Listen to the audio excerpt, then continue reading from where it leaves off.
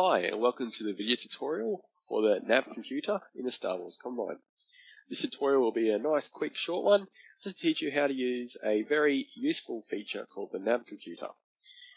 Now, to find the nav computer, what you would do is you would go to your technical menu, which you can find by clicking on this button here. And down in your in character section, you'll find the link. So if you click on that, it opens up the computer. Now, what opens up is a map of the entire known galaxy. So what you can see, all these are the various sectors in the game, and all the little dots in those sectors are all of the publicly known systems within the universe. Now at the top here, you've got all the various inputs that you need to do to work out, obviously, your travel time between, between point A and point B. So the first thing you need to know is your piloting skill. And you can find your piloting skill um, on your skills page. Let's just assume that it's three for now, but obviously you can click on that and change it to any number you wish. The next one along is the hyperspeed. Now that is the hyperspeed rating for the ship that you're flying. It can be anywhere from 1 to 7. Um, so you need to find out what that's going to be. You can find all that type of details on the rules page for ships. But for this example, let's just assume it's 4. But once again, you can click in there and put in any value you like. Now, let's just say you want to travel from point A to point B and you want to figure out how long it's going to take you. Well, now that you've got in those bits of information, click on your starting location. Now let's just say I'm going to start in Bormia. And I'm going to travel to, let's pick something, to the unknown regions up here.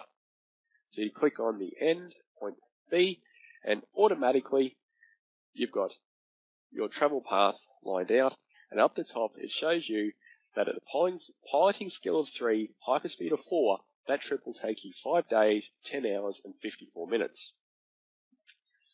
But that's not all. Let's just say that's only the first leg of a multi-leg trip you need to do. Let's just say your next one is uh, over here in Pharlax. You click on that, and it adds in your second leg of the journey, and automatically your travel time goes up accordingly. Now you can do that for as many legs of the trip as you like, do a nice big circle, double back, whatever you want to do, from one end of the galaxy to the other, back to your starting point, and then on further again if you wanted to, and all the while it'll be working out exactly what your exact travel time will be, or very near to it. And obviously it shows you where you want to go. You can also, during this, change your piloting skill. Let's just say it's 5. You put in 5 and automatically you can see the travel time is now gone down to 37 days. And if we change the hyperspeed, let's just say we're now into a, a 7. Into a 7 there. And see it keeps keeps adjusting it so that it can give you a fair idea of where you're going to go. Again, say if you drop your piloting skill down to 2, it moves it back out. So the nav computer is a very helpful little tool for helping you to plan your travels around the galaxy. So I suggest making use of it whenever you can. I've always found it quite useful and it's quite a good tool to, to know how to use. Well, I hope this has helped you out and uh, see you around the galaxy.